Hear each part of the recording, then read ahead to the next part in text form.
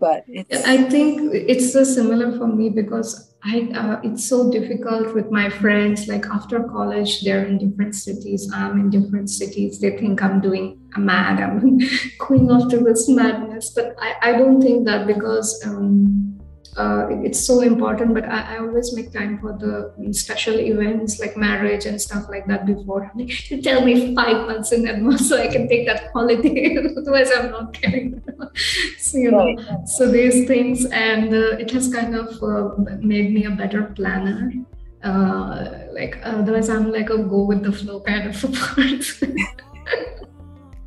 yeah you know i some things are good that way. I'm i'm such a planner at work and for my long projects you know sometimes it's months out and so i'm planning for months and months.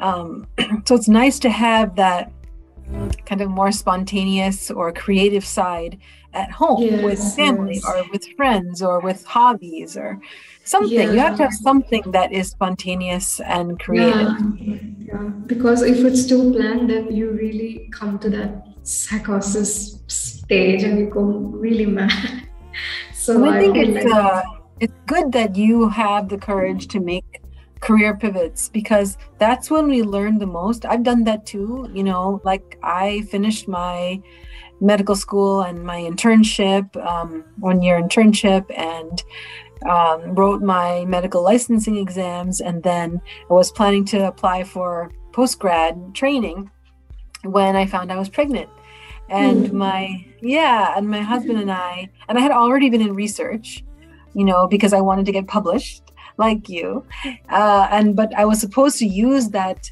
publishing to um, kind of propel my career in clinical medicine i was going to you know beef up my resume and that was going to help me get into a good post grad program and from there i would you know uh, get into a, a, good fellowship. And this was my plan. It was never my plan to stay in research, okay?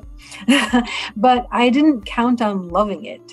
I love learning something new every day. I love being on the cutting edge. I love being the first person to know when there's a yes, new, yes. it's new technology. so much fun. yeah, and you don't necessarily get to be the first one when you are in clinical medicine.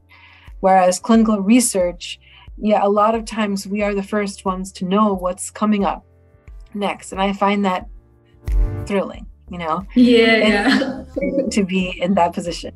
So um, when I decided to stay in research and not apply, not put forward my applications for post grad, initially it was supposed to be temporary, you know, and then I would reapply a year later, two years later. But then I had my second child and uh, I stayed home for two years, I stayed home with my kids until they were both at an age where they could go to preschool. And then I went back to school part time. And I would do it all over again. I tell you, I wouldn't change anything because I have such a yeah, I have such a close bond with my kids now that you can't make that up later. That has to happen in the that age, time. The age is gone, yeah. right? Yeah. Yeah. And I don't know how it is in Germany or other countries, but in the US, it's really, really tough to get extended maternity leave. You know, you you're lucky to get 12 weeks maternity leave, you know, and then you have to go back to work. But, you know, babies are are nursing for months sometimes six months to a year years you have to yeah. just take a ballpoint figure two years i mean it really depends in germany if you're yeah. with big companies you will get that otherwise six months maybe I, I, in a lot of cases i've heard that women had to leave so you have to be like uh, you need to have they call it Mutterschutz, uh, which my company I just changed my company so that company is offering it. So it's kind of refreshing to know because these things are not available in India. And now that I'm planning my uh, company slowly, slowly, I think I will have these things, you know, in mind and like come up with uh, because I really like the structure. Uh, you don't earn a lot in Germany you, because the tax is very high, but it's really balanced. You have a very balanced life, and I have this time for the hobbies and I feel now it's important because last five years was just like studying, studying, experimenting, analyzing the data, learning the programming languages because I didn't know it as well. And now uh, that I know, I feel I'm at an intermediate level. I feel a bit more confident, and I have to struggle with the language. so sometimes I think, why did I go to the US? That's part of it, though. That's part of the learning process and and part of growth. Mm-hmm. But yeah, it, at some point you have to figure out a balance right so if you have if you work for a company where they allow some of that balance they build in it's built into your your workday or your plan your employee plan that makes it easier because here it's really tough and that's really why i took those two years off and didn't work for two years yes. so that i could have that dedicated time with one child after the other and because I, I had them kind of close together and then when I went back to work, I could actually focus because I knew that they were old enough, they were both in preschool. Mm-hmm. So I could actually dedicate myself at work. Otherwise, I would be at work feeling guilty about what I didn't do for my kids, or I'm not there, or are they okay? Are they missing me? Or are, are, is that bond still strong, or is it breaking?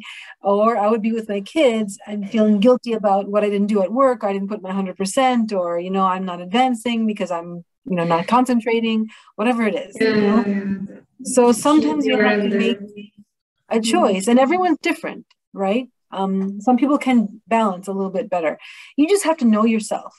I think it's important. Be very self-aware what you can handle what you cannot handle what's best for you. How are you going to be able to you know use your talents and wisdom and your passions the right way and what's your threshold?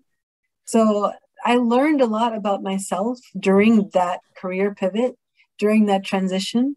And then, you know, again, um, I was in academia for a long time in clinical research after that.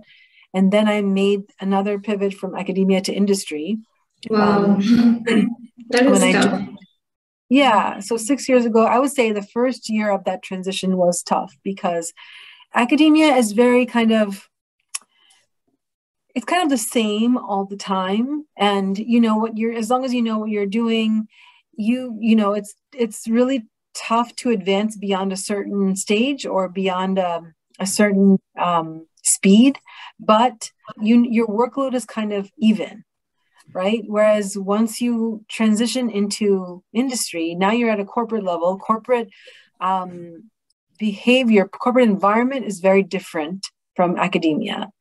You know people even speech is different the words we use the language we use is very different expectations are different there's a lot more competition yeah. um, and it's private it's not government i used to work for when i was in academia i was um, i was government so that's a very different feeling and in industry it's you know at, at some point we have to make money right it's a it's a it's a business. It's a private business. It's not. It's not a not for profit.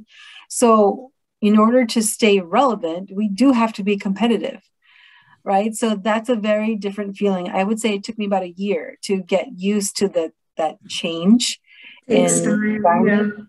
Yeah. yeah.